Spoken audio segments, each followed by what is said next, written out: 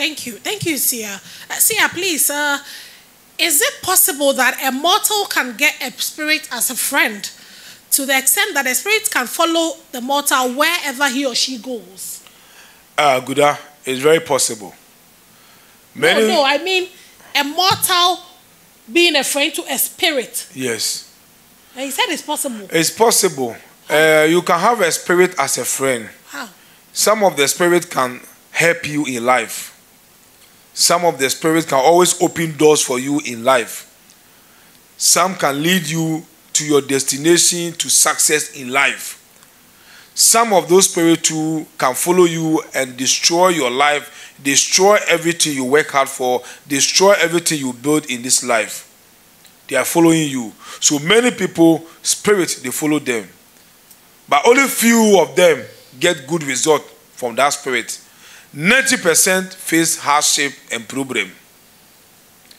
Just like a man in love with a woman. If that man gets spirit where they follow on a spiritual police, that spirit will always create confusion between the man and any woman that will come that man away. Those kind of beings too, they are quick tempered. When you have a husband who is a quick tempered, but he treats you well, but the problem is he is a quick tempered, you should find out that maybe spirit is following that man. That will destroy you and him. If you not take time, you not follow your heart with patience, with respect, you will lose that man. Oh. So it is possible that spirits can follow mortar in the physical world in a good way or in a bad way. Is there, Guda?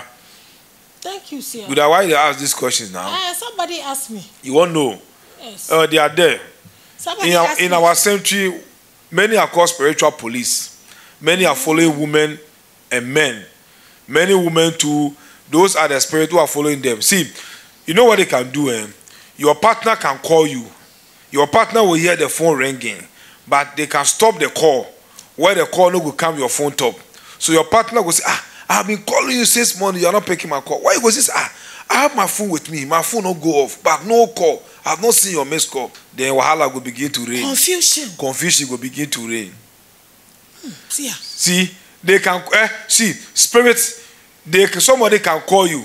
That spirit will answer your phone. Like your husband will call you. Then uh, a man will answer. Talk to your husband. When your husband will talk, say, hey, "I just call you." Somebody pick your phone and they say this. Oh, nobody pick your phone too. So all those things are into this world that bring confusion and problem because they don't want you to be happy. Only few of that spirit that can work with you and bring good progress in your life for you to enjoy the world. Many will bring you down because they are jealous. Hmm. See, ah, this one that you're saying is very serious. Yes, good. Okay, see, ya,